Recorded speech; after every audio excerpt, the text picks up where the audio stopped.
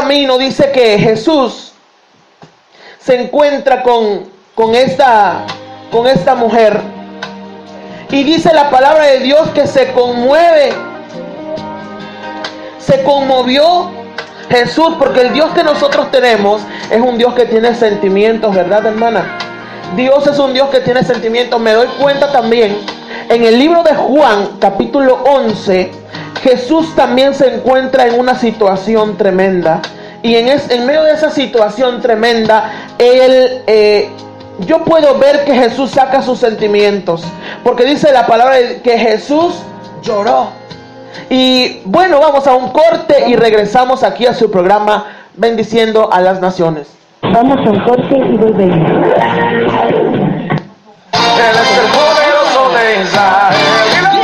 Culto campaña de fe y salvación y sanidad divina, predicando la poderosa palabra de Dios, el evangelista Roberto Medina Aburto y cantando el ministerio de alabanza, voz de vida trae a los enfermos y recibe un milagro de Dios. Te esperamos los días 2 y 3 de noviembre a las 5 de la tarde en la Avenida Reforma sin número a un lado de la carretera junto a la taquería de La Güera en Chacaltianguis, Veracruz.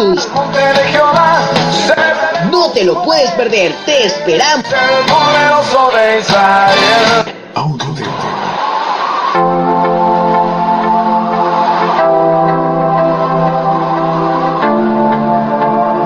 Dios está por encima de ti para bendecirte, abajo para sostenerte, adelante para orientarte, detrás para protegerte.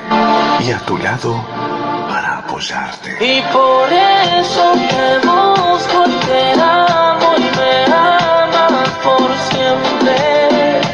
La cruz fue suficiente. Cuando conocí el amor verdadero, el de Jesucristo, llegué a comprender que nadie me ama ni me amará como Él. Su amor es incondicional. Su amor es sin reproches. Puro, sincero. Su amor es fiel y verdadero. Me amó cuando nadie lo hacía. Su amor es por la eternidad. Y que su hasta tu casa y en el cielo que la creación entera. En lugar de quejarnos de los problemas o de creer que no tienen solución, deja que Jesús te abrace hoy y te dé el regalo de su paz. Soy un poeta trovador y va por el sendero soñando con un día encontrarme con mi sueño. No existe nada imposible para él. Con las mejores voces profesionales. Audios Mirandas. Superior calidad auditiva. Dios, ya volvimos. Y bien, queridos amigos y hermanos, pues regresamos aquí a su programa bendiciendo a las naciones y bueno, pues estamos hablando de la vida, la vida que Dios nos ha dado, tenemos una vida hermosa que Dios nos ha concedido y bueno, estábamos hablando de esta mujer, de esta mujer que se encontraba ya en la situación más tremenda de su vida, ¿sí? Espero que ahora sí, no sé, se esté escuchando ya la transmisión, por aquí teníamos algunos problemas, pero bueno, continuamos aquí en su programa bendiciendo a las naciones, bien, así que, eh, bueno, tenemos algunas fallas por aquí, seguramente es por la cuestión del internet y del clima, que por aquí está un poco complicado, con mucho aire, con mucho viento, pero bueno, disfrutamos de este aire bien rico, ¿verdad? Que Dios nos ha concedido, bien como un chocolatito y un pan, se antoja, ¿verdad? Sí, ¿verdad? Bueno, así que bueno, tenemos a esta mujer que se encontraba en la situación más tremenda de su vida, la situación que, bueno,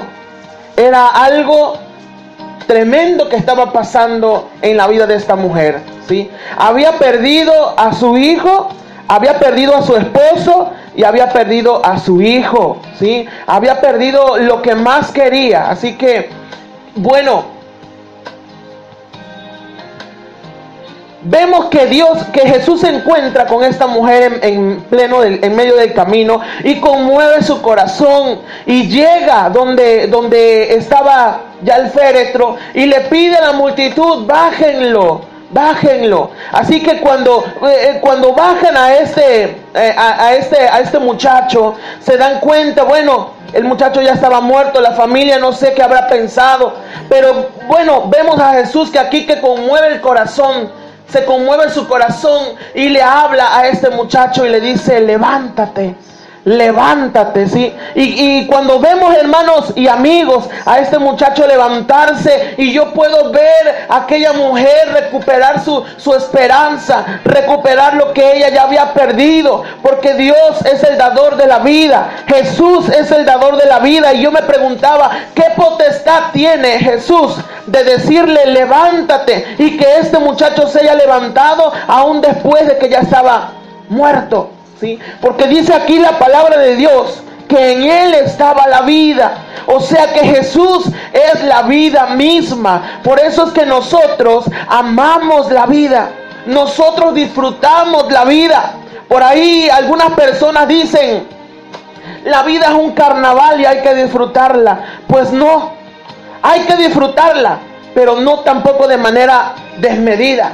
No hay que disfrutarla de manera irresponsable. Nosotros podemos nosotros podemos disfrutar la vida, eh, pero a través de Jesucristo, ¿sí o no? Mucha gente nos dice a nosotros que aburridos son ellos, Para nada. que no disfrutan su vida, al contrario. Sabes que nosotros disfrutamos nuestra vida y la vida que Dios nos ha dado es una vida especial, Amén, ¿verdad? aleluya. Uh. Dios nos ha dado algo especial. Vemos a este muchacho que ya, a esta mujer que había perdido todo, había perdido las esperanzas, pero él a medio camino se encuentra con el dador de la vida. Y el dador de la vida es Cristo.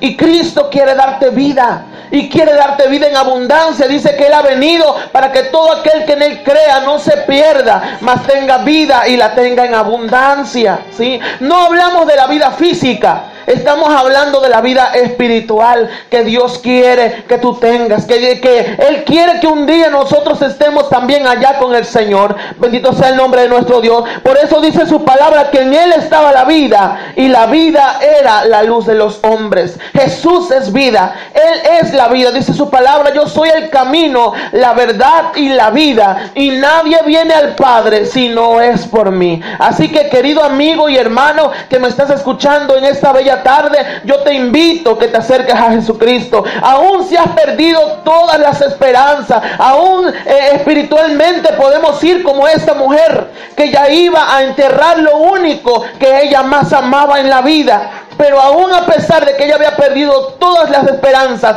Dios es el Dios de la esperanza. Dios es el Dios que lo que ha prometido nos lo va a cumplir. Bendito sea el nombre de nuestro Dios. Y Él ha prometido que Él nos fue a preparar lugar allá donde Él está para que nosotros vayamos a vivir también donde Él, donde Él ha preparado para nosotros. Bendito sea el nombre de nuestro Dios. Por eso dice su palabra que la vida era la luz de los hombres. Si nosotros queremos vivir en luz, Debemos aceptar a Jesús en nuestro corazón. Ese es el llamado que nosotros hacemos en esta tarde. No es molestarte, no es llegar hasta tu hogar para, para ofenderte, no.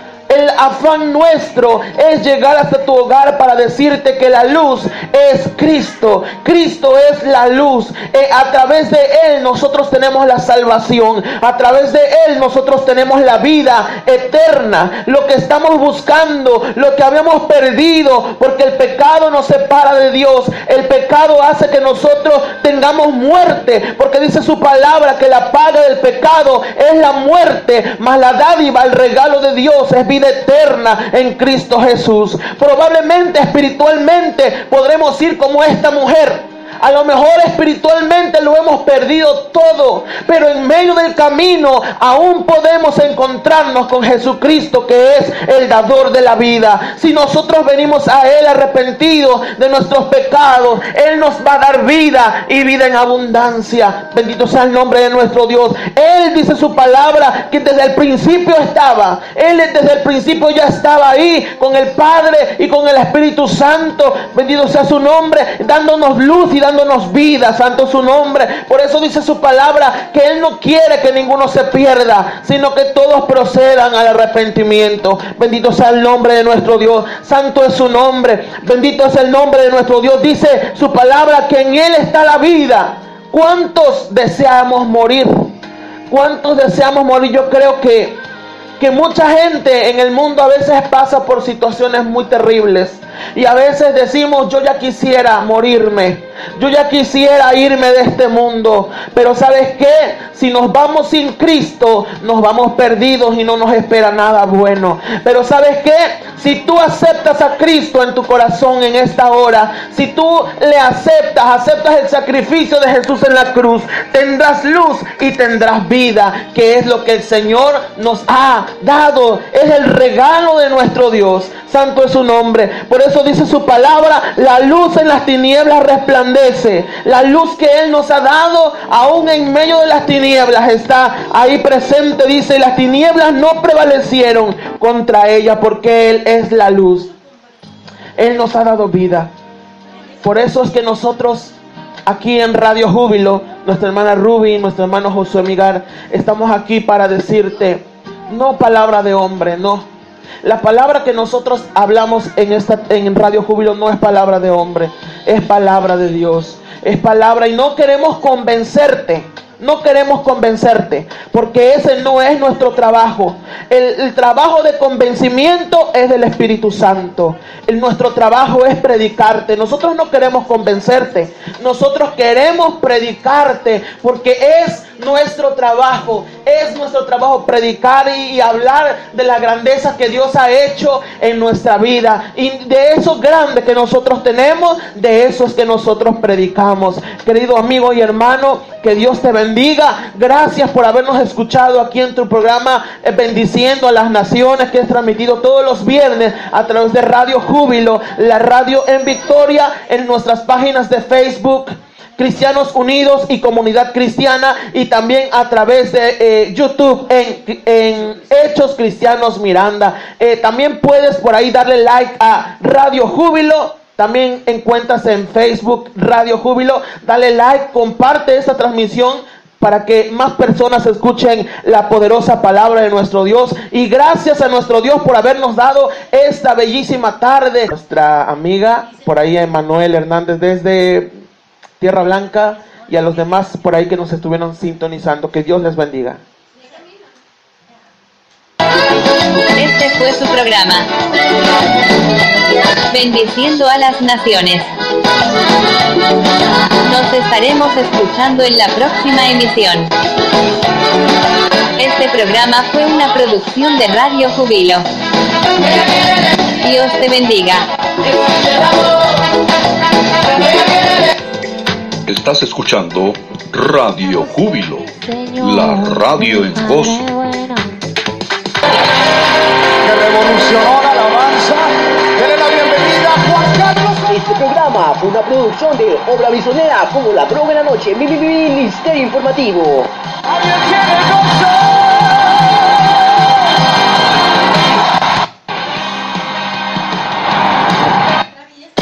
Audio Max Production.